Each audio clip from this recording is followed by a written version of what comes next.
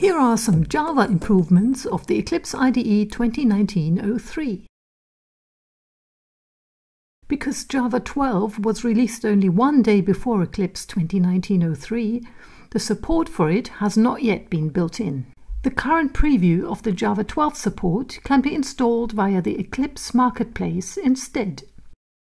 Let's have a look at the built-in features that have been added since the last quarterly simultaneous release, December last year. The embedded JUnit framework has been upgraded from 5.3.1 to 5.4.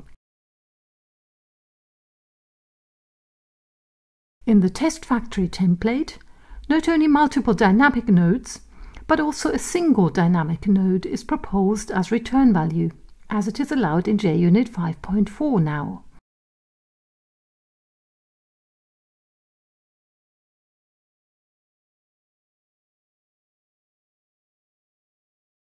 Another new feature of JUnit 5.4 is the possibility to specify the order in which the test methods are executed. For example, if a test method does something that is required by a second test method,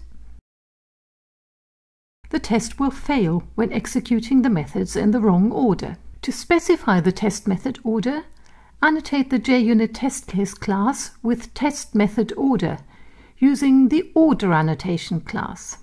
The test case with a specified order passes successfully. The Content Assist information pop-up shows constant values.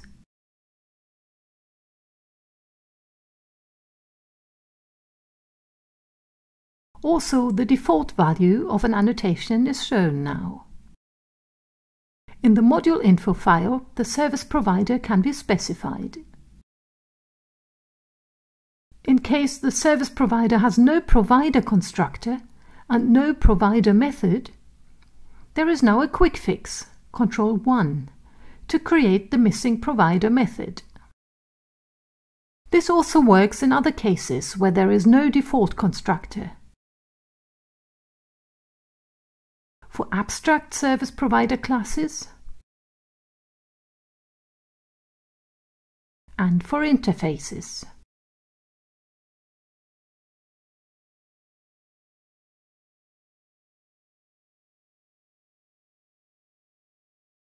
The Java formatter has been improved by some new additional settings.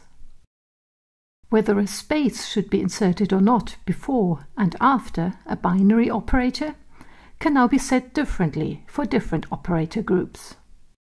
Also, the line wrapping can now be set differently for different binary operators.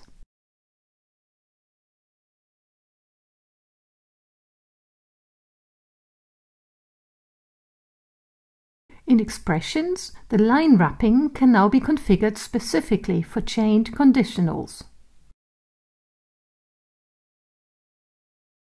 In JavaDoc, there is also a new formatter setting. In addition to the former possibility to indent wrapped param and throws descriptions, wrapped descriptions of other tags can now be indented as well.